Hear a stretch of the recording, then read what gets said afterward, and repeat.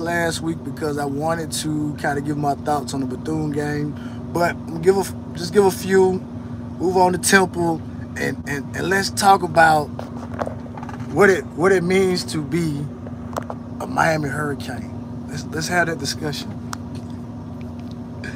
So, um, just a few things from the Bethune game. I thought the offense played well.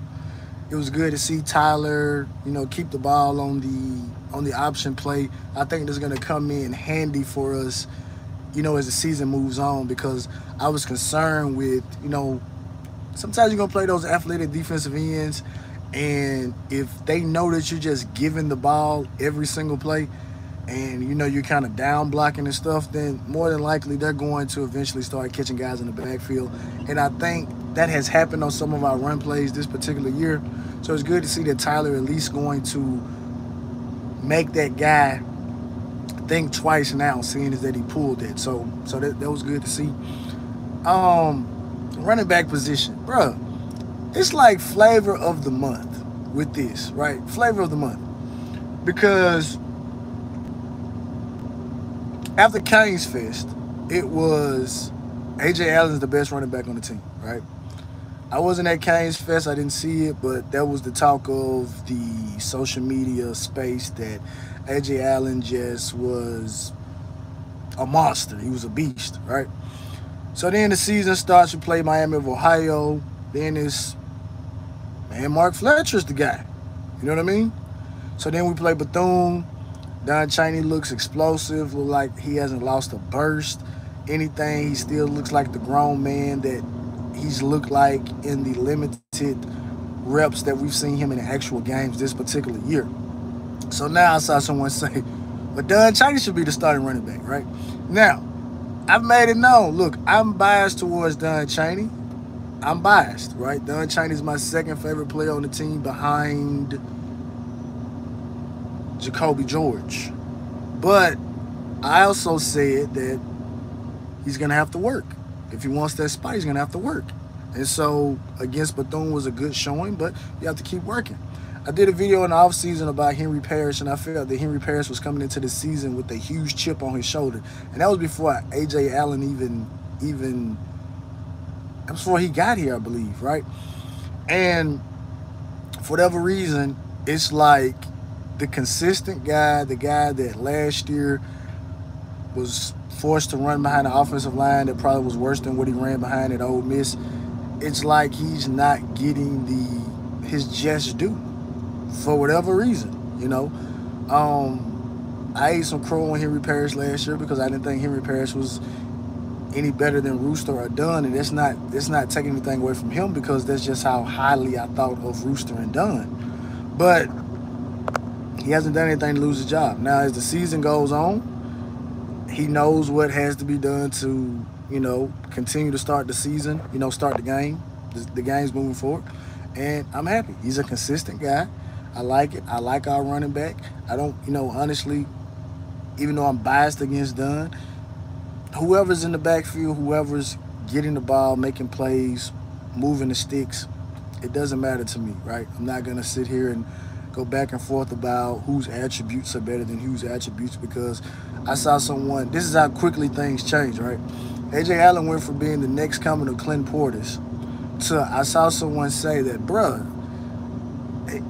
he's been in the game like, like, bruh is mid. And I'm like, oh my God. oh my God.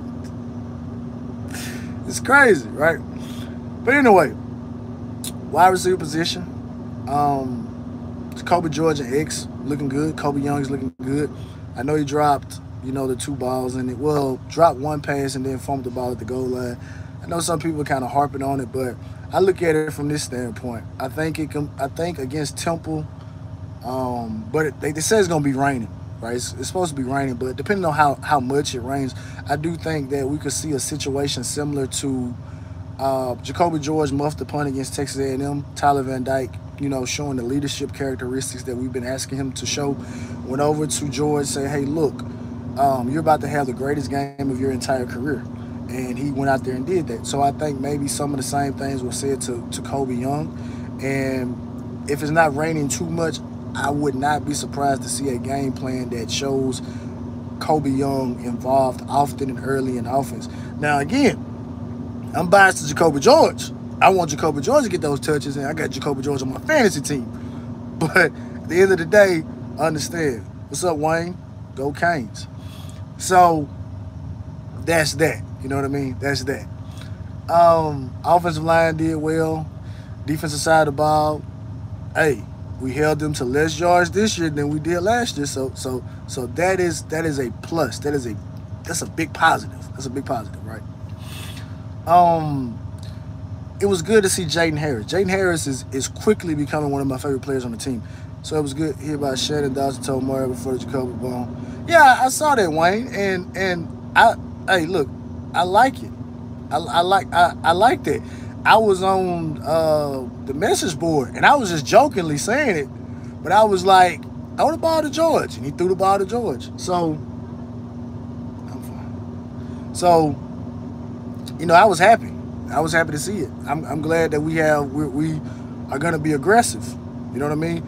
And it's also interesting to say for Mario to say, I don't think we're going to be able to run the clock down. And I'm like,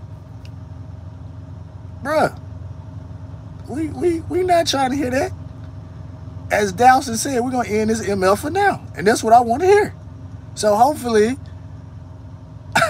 I didn't like Mario saying what he said, but I like that Dawson said what he said, and that Mario trusted Dawson to, hey, they come out, they match up, we going vertical. I like I like that. You know what I mean? But within that little interaction, Mario basically handed the keys of the offense by not saying, yeah, he did and and I and I'm and I'm happy that he did that because those type of situations are going to happen um, against North Carolina, against Clemson, against Florida State, and even against Louisville, which is a team that I think that based on where they're positioned on the schedule is a is a is one of those games where we better be on our on our p's and q's. But yeah, he's gonna it, it it's gonna have to happen, right? It's gonna have to happen. But Jaden Harris.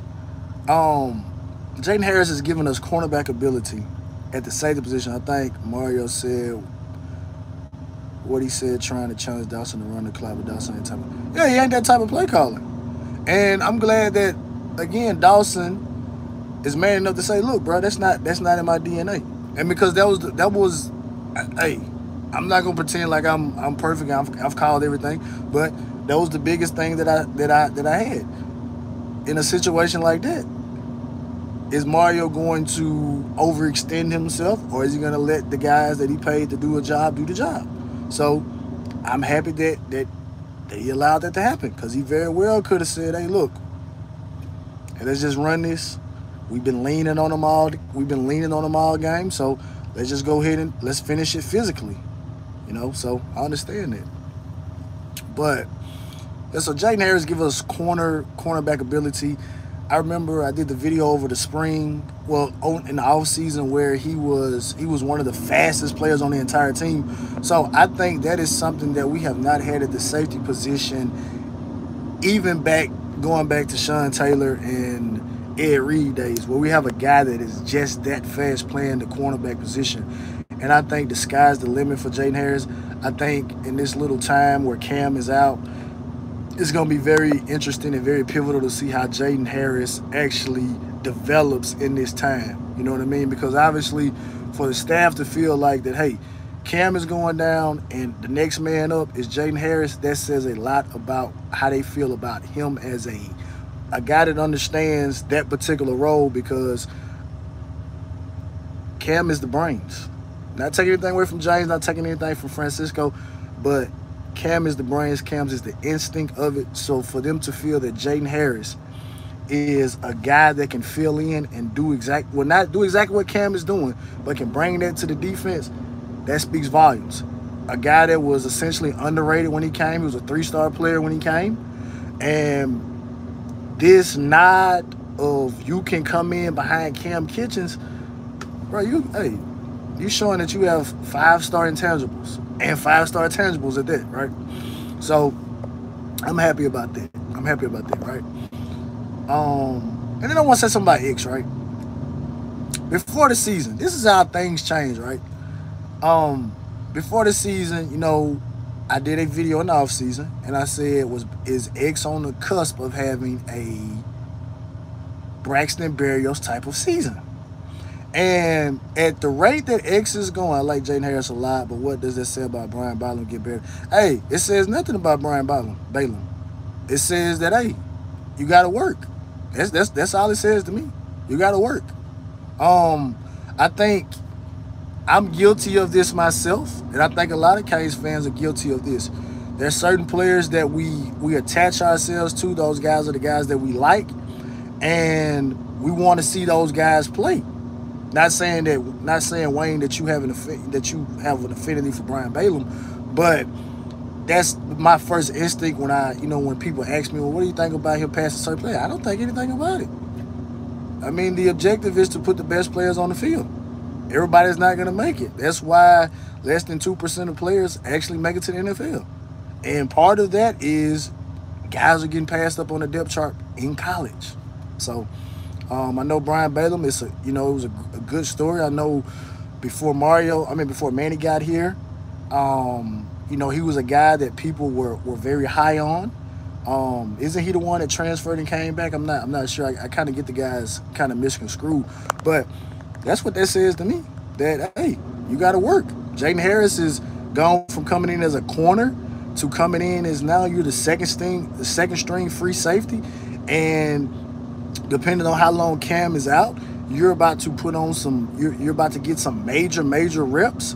And if Cam does leave for the NFL next year, you're in the driver's seat to become the starting free safety next year. So grab the opportunity by the horns, young man, and let's let's let's let's ride, let's roll. You you're fast. You bring cornerback ability to the safety room, which is something that we haven't had in a very, very long time right? So I'm happy for the young man, you know, and Brian Balaam, hey, hey, work. That's hey, work. That's that's the motto. Work. So, um, but getting back to X though, right? X is on pace of having a season that is better than Braxton Berrios' 2016 and 2017 season. That's what he's on track for. So I saw somebody on Twitter ask the question, and I said, "This is how this is how things change so quickly." Someone asked, who's the better UM receiver, Braxton Berrios or Xavier Restrepo? Now, that's an interesting question. But like I said on the video that I did in the offseason, I said I'm not going to minimize Braxton Berrios' career to just 2017. And I'm not definitely not going to just, at the conclusion of this season, just limit Restrepo's career to just this one season that he's having right now. But what I will say about this is that X playing the way that he's playing, there's still people who feel like, well, why isn't this player playing? Why isn't this player playing? And I'm thinking to myself, like, bro, the man is producing. He's leading the team in catches. He's leading the team in receiving yards. And I'm just, bro, I'm just, I was just so amazed at the Texas A&M game where it it literally showed me like yes you and tvd are indeed roommates y'all are indeed best friends because i'm seeing x out here ad-libbing pointing this doing all this particular stuff like this tvd okay this we saw this on film i know what you're about to do option this thing up he's catching the ball I remember last season someone said, oh man, X has drop issues. He's dropped more passes than Braxton Berrios. I went, I simply went to PFF and that that that just wasn't true. that just wasn't true. He hasn't dropped any more passes than Braxton Berrios did throughout his career at the University of Miami. I'm happy for X. Again, I'm biased to Jacoby George, but I'm not so biased that I'm not about to tip my hat to Xavier Restrepo and give him the acknowledgement that he needs. Now, we want to see you get in the end zone, but X is getting us down the field. X is the leader of that wide receiver room without question. X X is a leader on the team. Why? What you say? That just what? It wasn't true. It wasn't. you know what I'm saying? It, it wasn't. It, it wasn't true. You know. But I'm happy for X, man. I'm happy. And if and and this is just me just thinking out loud, bro. X number seven. Now I know Mario has a you know the affinity for number one, but I think number seven, if X leaves this year, whenever X leaves, that number, and I know some people in the LSU may say, oh, they biting us, our number seven. Like, no, no, no, no. Number seven should be a jersey of the hardest working offensive player, right? It shouldn't, it, you know, just hardest working offensive player because that's what X has been doing ever since he's been here. And I think to myself that if X hasn't had to, hadn't had to deal with the injuries and the setbacks that he's had to have, um, and obviously again, you know, Gattis last year, so I mean that offense didn't do anybody any favors. But X would be man, X X could be threat threatening.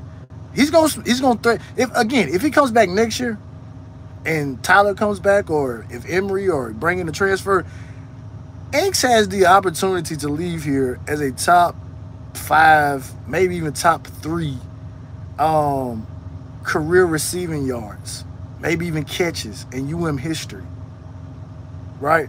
So X very well could lead the University of Miami as a better wide receiver statistically than Braxton Berrios, especially if this season goes the way that it's trending right now, where he's trending to have over 1,200 yards receiving, right? So, let's address the ibis in the room, not the elephant, not the elephant, because the elephants are the, are the Crimson Tide. That's Alabama. The Ibis. Real Cane over here. It's just the Ibis in the room, right? Um, Lonzo Highsmith came out, said what he said. And I have mixed emotional eggs and it has nothing to do with his ability. Wayne, what Wayne, let me let me let me let me know what you what it is about his ability. Let me let me let me know. Let me know. I'll uh, I'll read it. Let me see. Let me see. Let me see where you're coming from. Pause. Pause. um. But yeah, Zoe said what he said, and I have mixed. I have mixed. I have mixed feelings about it. I have mixed feelings about it because I was on Canesville during the off season, and they had Sapp on, and Sapp made mention that he, he talked to Alonzo Highsmith again. Preface this by saying it's always two sides to a story, and the, and the truth is somewhere in the middle, right? Mel Tucker, yeah, yeah. Oh, we know where Mel was coming from, Pauls. we know where he was coming from. Yo. but uh but he said he reached out to Zoe. He asked him that he said, Hey, look, um, I want to work with the defensive lineman, right? He mentioned that he did not like the what didn't really understand what Coach Joe Salavea was doing in terms of the bag drills and stuff like that, so he wanted to come in and help. So Zoe told him, according to Warren Sapp, that hey, I talked to somebody, and I believe he got back with him, say, hey, look, you can get a couple of minutes with the guys. And Sapp was like, yeah, I don't really want a couple of minutes. I want to, hey, Ellen, I don't really want a couple of minutes. I, I kind of want to do my thing, right? So that's what made me kind of scratched my head when Zoe said bunker mentality. We're going to keep our bunker mentality. It's like, no, like Sam said he reached out. Now, again, it's again, it's two sides to a story. But that was just my thing about it, right? And the other thing about it is I tell anybody, I'm a football fan first, I'm a Miami Hurricane and a Vegas Raider fan second, right? And the reason that I say that is because I'm not a fanatic. Not a fanatic. And what I realized in this little exchange since last, because it was all good Thursday. Then Sunday morning, all heck break, all heck broke loose with pictures and, and videos and all. X is telling it, but how much of what we're getting from him is because of TVD just trying to get his guy the ball. I believe Rashad could play the same role. You know what? Wayne, I cannot disagree with you in any shape, form, or fashion with that with that statement. I kind of thought I, I, I was thinking. I said I wonder where you're going with this, but I, hey, I agree. You know what I mean? I I, I can agree. Um, that that very well could be the case. But this is what I but this is what I'll say about this though. Um, my only retort to that would be is Brashard out working X in practice? Roommate aside, is Brashard outworking X in practice? Is he outworking him in the wide receiver room when they work when they're looking at film? You know what I mean? That's the only thing that I say. If we're talking about just opportunity, yeah, Brashard should get some more opportunities, but are you are you outworking X for those opportunities? Now that I don't have the question to, right? I think we all can look at it and say, yes, Brashard is more talented, Brashard is faster, Brashard may be more explosive and all this stuff. But I think like, is he smarter than X? Not taking anything away from Brashard, but is he is he is he smarter than X? Can, is he is he as trustworthy as X? Right? Is he sitting at the front of the room in the wide receiver room? Like, what is he doing? I think that is what's separating the two. That's what separates coach. That's what separates X to the coaches must be. Yeah, I mean that's that's the only other thing I can. That's the only thing I can say. Similar to, you know, we was like you brought up Brian Balaam, and you know we're talking about Jaden Harris, and that's that's my whole thing about it. Like, what are you showing the coaching staff for them to keep putting you on the field, right? And obviously they're using Brashard a different way than they're using X because you know Brashard gets in the game, we run jet sweep and stuff like that. And I think it was, I think Coach Hayes may have brought it up, but it was something someone a caller called in and said like, "Hey, let's see X, let's see Brashard with X playbook. Let's see, let's let's see what we can do. Yeah, got to reward the hard work. Yeah, I mean that's, I mean,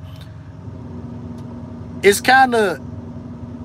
You, you gotta you gotta you gotta reward him and he's he's he's getting it done, man. He's making tough catches. He's out there blocking. Like I said, just it's a lot of maybe minute things that X is doing that maybe Brashard isn't doing. Not saying that Brashard can't do them, but I don't I don't think that X is on the field just I mean part of it is probably because TVD trusts him, but I don't think TVD can come out to the staff and say, look, hey, I like, you know, I like X over Brashard and Ray Ray, so, you know, I'm gonna get him the ball more to keep him on the field. I, I don't think it's anything like that, but I just think it's like an emphasis for you know coach you know Kevin Beard just got here so I think all the wide receivers start off with a clean slate which that's how it should be and I just think X is is is, is working right? Um but yeah getting back to the ibis in the room. So um I don't I, I think Mike and Deion are like best friends right? And one of the things about it is that I think people have friends, but I don't know how many people like have like best best friends, right? I know Mike has been through some things, Prime has been through some things, and like I said, I'm not a fanatic. I didn't have a problem with Mike having on the Colorado shirt like most people, like I see a lot of people do, because I'm looking at it from the standpoint, it's like, look, I'm supporting my friend. I'm not I'm not downing my particular university. And someone brought up the point was like, why was Mike not on the sideline for Texas A&M game? And my first instinct was, well, maybe we did have a situation with the hotel. I mean, maybe Mike doesn't need to be in Miami. You know what I mean? I mean, maybe he doesn't, maybe he didn't need to be in Miami. I mean, I don't know what it is, right? But I just don't like the fact that people are trying to turn their back on and trying to say who's a real Cane. Like I see that on Twitter. Like, look, I don't dis I don't dislike anybody if they show particular stance. But it's like, bro, this person is the reason that we are a fan of the team. Point blank and period. Now we all may have our certain favorite Canes. Like my favorite Cane of all time is Willis McGahee. Somebody else's favorite Cane may be Jerome Brown. Maybe Michael Irvin. Maybe Santana Moss. Maybe Edgerrin James. Who knows? Shoot, somebody favorite came might be Kevin Beard, Mike Rumph, Mario Cristobal. But I don't think like it's it's it's so much positive it's so much positivity going on right now with the program, bro.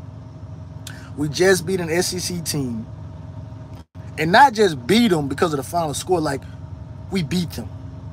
Like Second quarter, like I said on on my on the on my review of the game, second quarter, I said we are better than them. Um, TVD is playing some of the best ball in the entire country. We got three wide receivers that are are tearing it up. We got Rueben Bain getting in the game, getting held. Hey, I'm getting to the quarterback. We got Jaden Wayne, coach Coach Chris Boss said Jaden Wayne is about to be a bigger part of the defense right now. We got Francisco Mauigoa. We got James Williams playing at a level that we wanted him to play at. We got all that going on. But we got people that are wasting time trying to say who's a real Cane. I saw today. Vince Wilfork and Ed Reed at practice, right? Ed Reed picture was from last year. Right? But Vince was there. Again, I made mention when I touched on this last week, uh, last time, pause. I said Andre Johnson was at the other game and nobody cared. Nobody even brought it up. Andre was there. So, though Mike Hall of Fame I don't think he holds that much weight with recruits. so it does. Hey, I'm glad you said it because I was just because that that that segues me into another point. I saw somebody say, "Bro, you don't think Mike being out there, Deion gonna use as a, re a recruit employee?" And I'm sitting there thinking to myself, "Bro, who do you think the last wide receiver recruit Mike talked to? What can Mike talk to? What can Mike say about to a wide receiver commit in 2023?" I, I, I said it on the I said it on the message board. I said, "Bro, this recruits right now parents." weren't even born when Michael Irvin played for the University of Miami. So these people know Michael Irvin from the doggone Cowboys. They don't know Mike from Miami. That's my whole thing. So, like, my point would be like this. It'd be different if, let's say, Travis Benjamin was over there. Or let's say Devin Hester was over there with Colorado stuff on. I still won't get bent out of shape about it. But I would say, well, yeah, those guys are a little bit closer to the generation. These dude, these young dudes know nothing about him except the things different. Exactly. Exactly. And I'm and, and, and to me, honestly, I don't know much about Michael Irvin. But I mean, you Google his name, some good stuff come up, some questionable stuff come up. You're right, Ellen. People, no, Ellen, no. I don't want, no, no. I don't want to say they have a reason to be mad. They want to have a reason to argue think about this. We have been a a we've been like this for the past since 2003. We've been like this, right? So Deion always showed Miami love a shot Miami. Yeah. But right now we're in a we're in a place where we have nothing bad to say, and I I consider myself objective. I'm I'm critical of things, but I have nothing to be objective about right now. I have nothing to be critical about. I am so happy right now. And I think some people is like, bruh, yes, things are going great, but we need something to argue about. Not be mad about, but to argue about. And I think, I think, and I think that's what it is. I think that's just that's a side effect of us being like this since 2003. It's nothing, it's nothing negative going on. Offensive line playing great. Quarterback playing great. Receivers playing great. Defense playing great. There's nothing bad to be said. So you so now it's like, you know what? Let's attack Michael Irvin. Let's attack Warren Sapp. Let's attack Dwayne The Rock Johnson. So much so that someone said, oh, see, Alonzo made the call. You see The Rock out here tweeting out a commitment. It's like, bro, what about the guys that just left? DJ Ivey should be tweeting this out. Jaelan Phillips, Greg Rousseau, Gregory Rousseau, they should be tweeting that out. You know? But it is what it is, man. I mean, I don't want this to and then and then there's the other thing they bite about it. That, get that gets me. It's like you guys say you don't want to hear anything or talking. I saw a tweet trying to show Shedeur in a bad way because he fixed his rollie, but cameraman asked him, like Miami. Ellen, that goes back to the other point though, because you got the people saying that Deion are trying to re uh, uh, recreate the hurricanes of the 80s in Boulder. And I'm like, I don't see that. What I see, I see prime time in 2023. I see what pick y'all got oh, I'm gonna be gone. I see Deion coming back to the Georgia Dome after being traded to the 49ers saying, this is my house. This is my house. I see a man returning a punt for a touchdown and then playing in the World Series all in the same day. I see the shuffle. I see man fighting Andre Rison. That's what I see. We talking about Deion Sanders. Deion Sanders in the 90s was up there with Michael Jordan. Well, he wasn't as high as Mike, but he was up there. That's what I see. Deion Sanders is, is, is more famous than any Miami Hurricane player, period. There's no knock to a Miami Hurricane player, but that's just what Deion meant to the game. Deion is a top five all-time player of all time in the NFL. Not based on his position, nothing. You're a top five player of all time. And a lot of that is because of that bravado that you bought. So what what we're seeing is we're seeing prime time being manufactured at a high level. That's what that's, that's what I see. I mean, that's that's all I see, right? But again, but getting back to it, guys say they don't want to hear about Colorado. I don't, I don't, I don't, I don't want to hear nothing about Colorado, and I agree. I don't want to hear nothing about Colorado either. But you're gonna keep talking about it because now it's like, oh well, Vince Wilfork was at practice. So what are we gonna do now? So anytime a, a former Cane comes to practice, someone's gonna get a picture and say, oh, real Canes don't don't switch colors. So let's say Devin Hester come to practice tomorrow. So we're gonna have we're gonna have Devin Hester there, Edgerrin James. That's what we're gonna have. This is the game that we're gonna play the rest of the season. Like, bro, we it's too much positivity going on, bro, to be talking about this foolishness, man. Like for real. I'm not saying the people that's talking about it are foolish, but it's like, bro, some of you are taking guys playing at a school for three to four years and treating it like they got a brand on the on their back saying property of University of Miami athletics. Bro, we we just re we just started re-embracing. Facts. Facts.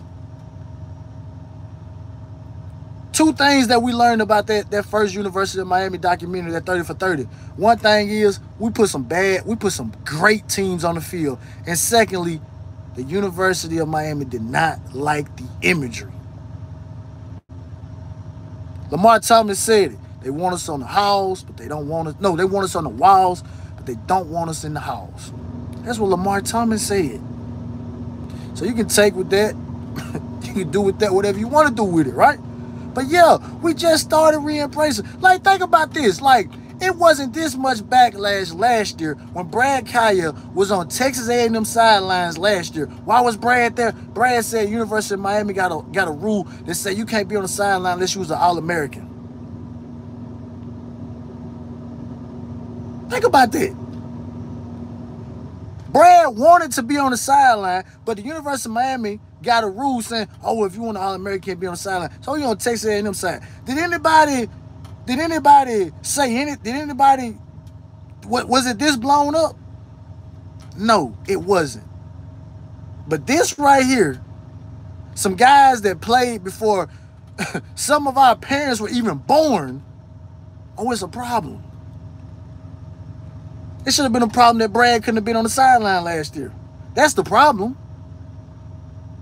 That's the problem. It's a problem that but I don't want to go down that road though. I, I, I didn't. I've addressed the ibis in the room. The ibis, not the elephant. The ibis. No one's complaining when Warren Sapp had to sit in the bleachers last year and could be outside. Man, Wayne, you making too much sense right now. X catch punch five yards outside his on the. Hey, king of battle. Like anybody will say, they must be coaching it. Because if you continue to make the same mistake over and over again, you gotta be coaching it. That, that's all I got. And and that's the one. That was one of the things that I said in my Bethune breakdown. Is I said I don't want to see guys catching a ball inside the five, inside the ten, or whatever like that. Because in a big game setting, you just gotta let the ball. You gotta let it roll. Even if you are over talented against Bethune, I need to see those type of things because those those small things can come back and kick us and, and, and kick us in the butt. right? Can kick us in the butt. Luckily, we had enough offensive power, enough offensive firepower to overcome that against Texas A&M. But you might not be lucky next time. Just and that's just that's the way it is. So, so I understand what you're saying, King of Battle. But my thing is, is if he's continuing to do it, then that means they that means from a coaching standpoint, they don't have a problem with him doing it. That's all I gotta say about that. But say a little bit about Temple. I'm gonna get out of here, man. I appreciate y'all rocking out with me, man. Um, they two and one. They only Power Five opponent that they played was Rutgers. They lost 35 to seven, I believe. Quarterback is co completing less than 55% of his passes. Um, I see their slot receivers, their leading receivers, so it's going to be interesting to see. I don't think he may be as good as the guy from Miami of Ohio, but we won't know until, you know, until we get in the game. But if the forecast is going to be what the forecast is in terms of it raining a lot, then he may not be that effective.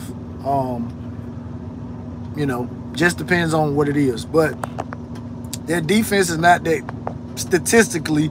I saw giving up like 365 yards a game. So again, that's against two, and and and and a, and a bunch of that yardage, I believe, was against uh, uh, Lorenzo Lingard from Akron caught a touchdown on him out the backfield. So similar to more slot phase Couch and Davis. I, man, I mean, if it's raining like they say it's gonna rain, I don't know how much they'll throw the ball. But if it's not raining that bad, then yeah, there is gonna be something that we need to we need to address. Need to address the slot fade. Um, simple as that. But similar to what I said from the Bethune game, 56 to 0, 56 to 7. Fine with me. No injuries. TVD is super accurate in the rain, so we're good. Hey. But you know what? I I add this on. I'm sure they're gonna be playing us off. So TVD's gonna have some big windows to fit the ball into. So um again, if if, if TVD's able to throw three or four touchdowns, um, that's you know that's gonna be great. So hopefully, again, like I say, injury free. Um, seeing Jaden Wayne is gonna play a little bit more. Ruben is gonna play a little bit more because of Mesidor and stuff like that. So um, this is a, this is a good game to get out there before the bye week and just let it all out and hopefully maybe in the second half we can get we can get Emory back out there on the field. Off topic, but did that third and 18 almost get converted? Bethune did give us flashback. Third and 18. What third and 18? What play are you talking about? Because I, I wasn't I wasn't at the house. I really didn't watch I couldn't watch the game. I was watching it. Yeah, by Bethune, but what what give me what what play was it? Because I had to watch the I had to watch the game on my phone. Um I had to watch the game on my phone, so I and my phone was kind of the service was kind of in and out, so I really couldn't I really couldn't see. So you have to tell me uh, kind of what play kind of what play we talking about. What quarter was it? Is it second half or something like that? Because if you're talking about something in the second half, then I can almost guarantee you that I probably missed that. I missed that play. I think I missed that play because I was watching it with Coach Hayes, and I think that's the game where uh, I think the TV man went out or he did something on the computer and we missed like four or five, we missed like four or five plays, like even missed them actually scoring. But through that third 18 completed a seam route across the middle. Oh, I didn't see that play. No, I didn't, I didn't, I didn't see that play. But it gave you flashback. What did it give you flashbacks of? Uh, North Carolina, Florida State. It gave you those flashbacks. We don't need none of them. I guarantee you. We don't need none of them flashbacks. I promise we don't. But yeah, I, I, didn't, I didn't, I didn't see that play, man. We was uh not sure what quarter, but I think it was first half. First half. Uh, are you talk? Wait a minute. Let me ask you this, Wayne. Are you talking about when the second string quarterback was in the game or the starter? Because if you're talking about when the second string quarterback was in the game, flash flashbacks of Manny Diaz. If you talk about when the uh, when the second string quarterback was still in the game before he got hurt, before he messed up his shoulder, then yeah, I think I do remember what play you're talking about because he did look like he did have a. To me, it looked like if he wouldn't have got hurt, we were going to tighten up on some coverage, and that's. But again, once we get to those particular games, I can, say those particular things, but that may be the only thing I may be critical of is I'm not completely sold on our pass defense, right? Not completely sold on it. And they're gonna get tested. Trust me, they're gonna get tested. North Carolina, Florida State, Clemson, and Louisville. They they they're gonna get tested, right? But but yeah, if it's the first half and you're talking about the second string quarterback that ended up starting the game, I think I did. I think I remember that play. But um but yeah. But with that being said, man, like I like like I'm gonna start saying the end of my lives, shout out to E Brown. I'm not gonna bloviate, vacillate, or pontificate any longer. uh all about the Canes, baby. Me either not sold the pass cards, but I'm sold on the press recruit. Yeah. Oh yeah. Wayne, I'm glad you said that. I'm glad you said that. Is it me or I didn't hear anybody say anything about the defensive line being held against Bethune. I didn't see no, I didn't see no pictures. I didn't see no slow motion videos of people being held against Bethune Cookman. I didn't see any of that. Which lets me know it's like, bruh, you gotta fight it.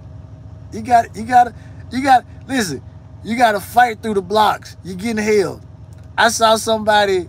I was I was on Instagram earlier today. I saw a video. Uh, Aaron Donald against the 49ers. Snap of the ball. They got three guys dedicated to Aaron Donald. Three guys. And they were holding a little bit. But I heard nobody say nothing about the holding of Bethune. Think about this.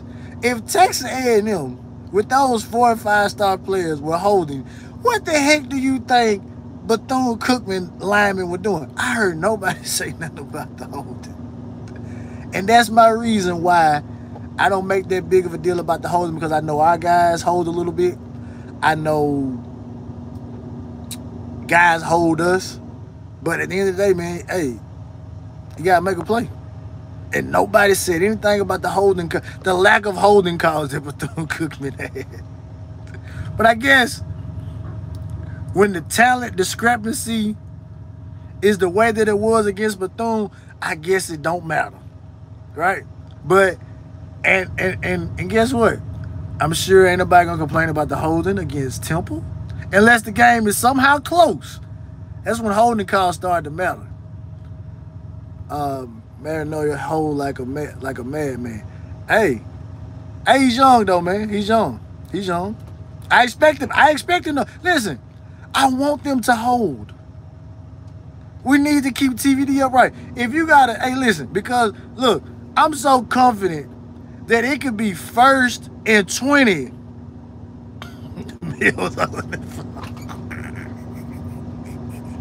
hey, wait. I'm gonna be I'm gonna be real with you. Hey, Mel wasn't holding no phone. Mel had that demonstration on on uh on speaker. Mel had Mel had the, the Glock in one hand. Mel had the Glock in one hand, and he had that Astro in the other hand. Bruh, I'm trying to be serious, man. I'm trying to be serious. Bruh, they said Mel was sitting up with his shirt off.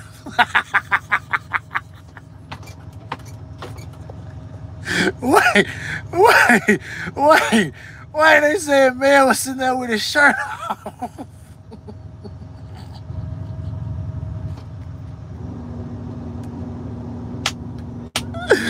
Bro, I'm trying to be so serious right now, bro. I'm trying to talk about Temple, man, and you got me talking about Mel. Talk. Man, they said Mel was in there with his. Said. He said the assistant coach came in and knocked on the door. He said, Coach, I'm trying to. Hey, he said, Coach, we trying to get that final cut of the uh of the Washington game in Mayo City.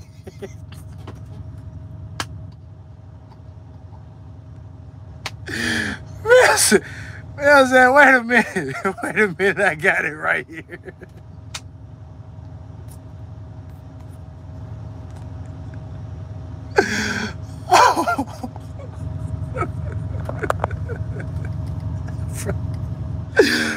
My chest hurt, bro. I'm tripping.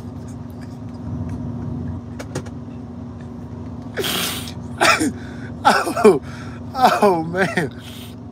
Hey, but salute the mail though. Hey, real talk. Handed it, handed it to him with the same.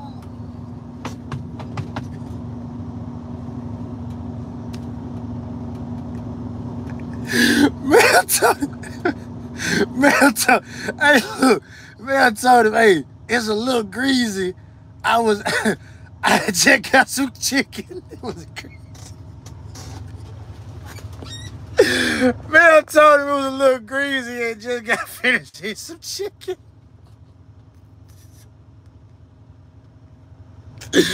Bro, that's wild. Finishing on top of the Washington film is crazy. Wait, I'm not playing with you, bro. I promise I'm not playing with you. Man, I'm about to go, man. Hey, hey, bro. Hey, man, it's all about the you, man. I'm out, man. Peace, peace.